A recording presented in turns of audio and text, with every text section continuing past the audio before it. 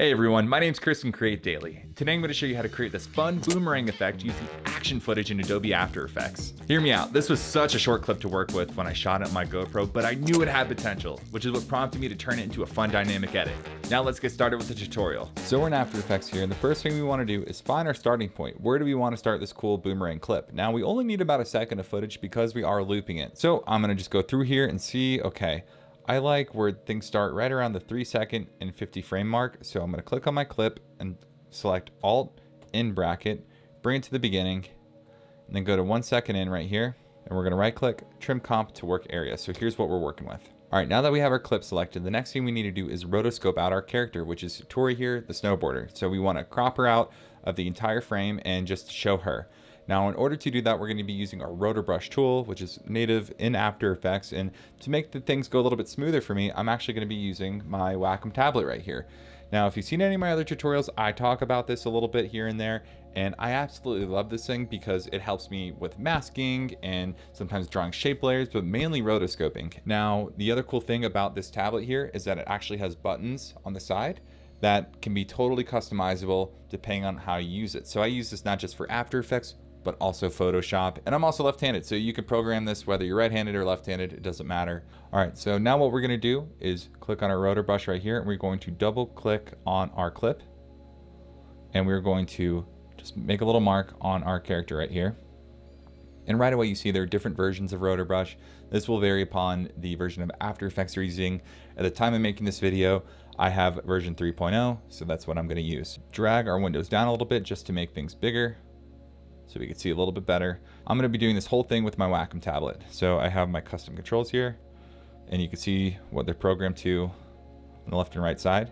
So with rotoscoping, if you want to add anything, you would just draw. And then if you want to take anything away, you would just hold down Alt, which I have programmed to a button here, and you'll see the red brush. Now, when it comes to roto brushing, we want to make sure we're accurate with what we're cropping out here because whatever we crop out in our first frame is going to apply in the next frame. Now things like her jacket are blending in with the snow because they're both white, that's okay.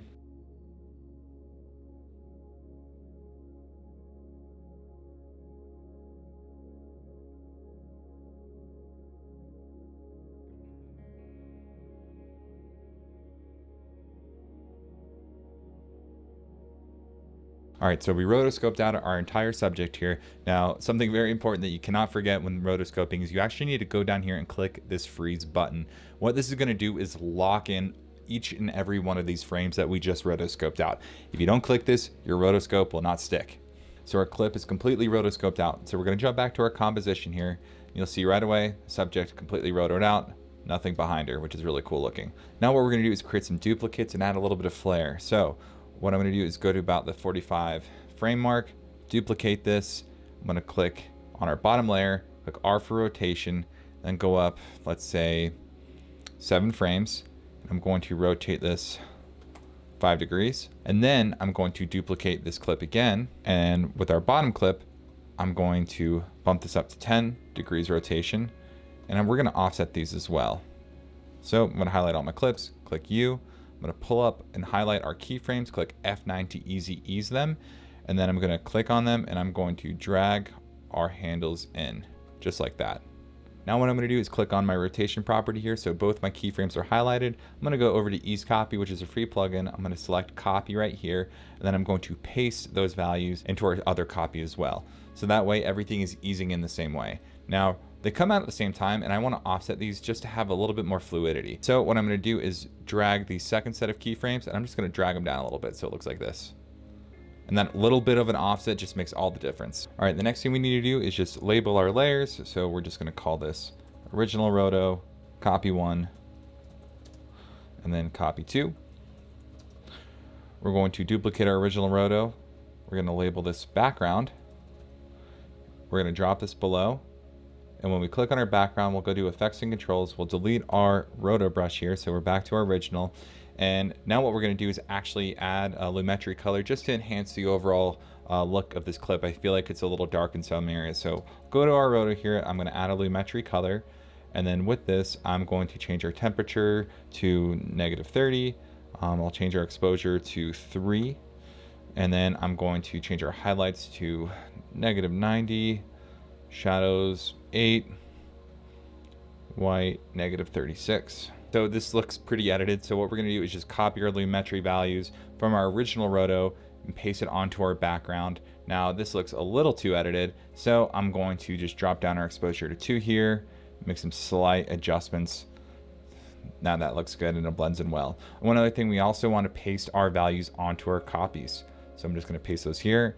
Now things are looking good. The next thing we're gonna do is create a mask on our background layer and animate that. So I'll show you how that's done. I'm gonna go to our background layer and just focus on this for right now. What I'm gonna do is click on my layer, select my rectangle tool and create a giant square. I'm just holding down shift and dragging. All right, I'm gonna click control T just to move this around. And to find the exact center point, I'm gonna go here and select the title action safe. So now I could find exactly where this needs to line up in the middle. Now, the reason I'm starting off with a square as opposed to just a rectangle is that I want to keep the square the entire time. If we start off as a rectangle and go to a diamond, we're going to see that shift and I don't want to have that. So we're starting off with a giant square here. Now what I'm to do is click M for mask path. I'm to set a keyframe right here. So this is going to be our starting point. And as we go in, I'm going to shrink our mask by clicking Control T. And I'm going to bring this down here bring it down some more, and I'm going to rotate it clockwise, just like that. And if we want to see for reference how this looks in relation to our, our cutouts, I'll just pull up our original roto here, and we'll see how this looks. So we could see, okay, like how small do we want this mask to actually be? Click F for feather, feather it slightly to maybe like five. And then what I'm gonna do here is just make sure this keyframe's dragged to the very end, and I'm going to right click, keyframe assistant, ease out our first keyframe, and then ease in our last keyframe here. All right, so this is what we have so far and it's looking great. Now it's time to level it up a little bit more. So what I'm gonna do is go to our project here and I'm going to bring this roto clip into a new composition and we will label this working comp. All right, now what I'm gonna do is duplicate our rotoscope clip and I'm going to hide this top one. I'm gonna bring in this fun hologram texture that I have.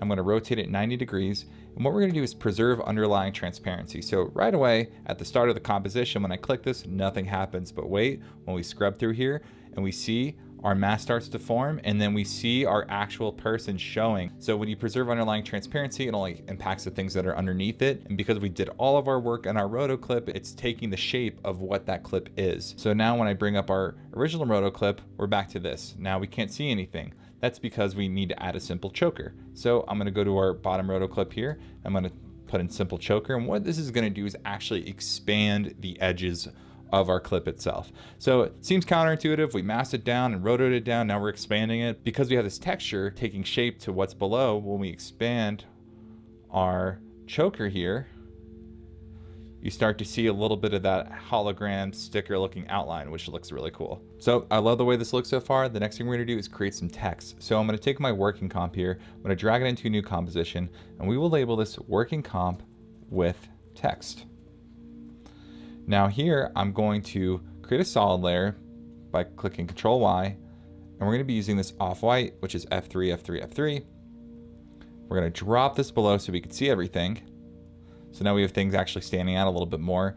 And I'm just gonna hide our working comp for now, and we're just gonna create some fun text just to animate a little bit. So I'm gonna write out here, established 1992. I'm gonna change this to like a baby blue color. All right, now I'm gonna change this to a stroke. So I'm just gonna copy my hex code here, flip the switch. So now it is at a stroke, and I'm just gonna make this stroke a little bit more bold so we can see it. All right, so the next thing I'm gonna do is just copy our text here, Click enter to go below and just paste this in a bunch of times. And now what I want to do is just do a little subtle animation. So I'm going to go here from the start, click P, and then I'm going to go up, and I'm going to cycle this up a bit. One, two, three, four, five, six. We'll drop it below our working comp here. So here's what we have. Now what I'm gonna do is duplicate this click on my keyframes right here, and I'm just going to drag this over and see where it is in relation to our original. Bring it over some more. I'm going to right click on my keyframes, go to keyframe assistant and time reverse keyframes.